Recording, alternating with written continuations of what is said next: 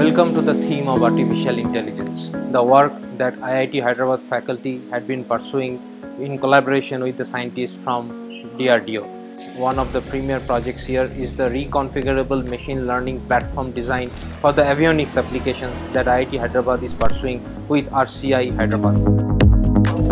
Working on a reconfigurable machine learning hardware architecture design. As of now in the market there are various network, uh, machine learning algorithms available with the promising accuracy.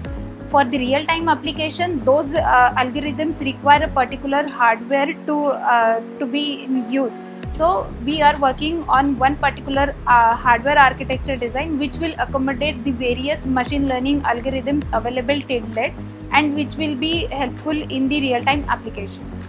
Once that design is ready, so most probably this is going to be the first of its kind chip in our India and will also be uh, supporting the indigenous effort done by IIT Hyderabad faculty in collaboration with DRDO scientists. Then another project is on the real-time prediction of the remaining useful life for the ship. That is not only the DRDO but another stakeholder is the Indian Navy. So in this work we are identifying the residual life, life of the structures like aircraft, ships and the bridges. For this work we are using artificial intelligence and the nonlinear dynamics.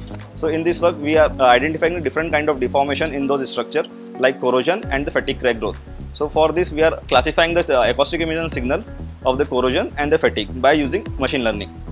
By using nonlinear dynamics and AI-based approach, we are trying to predict the occurrence of crack in a material. This video shows the uh, presence of noise in the signal as well as the crack. The red uh, scattered point indicates uh, crack. So we could see the presence of crack as well as the presence of noise in the signal.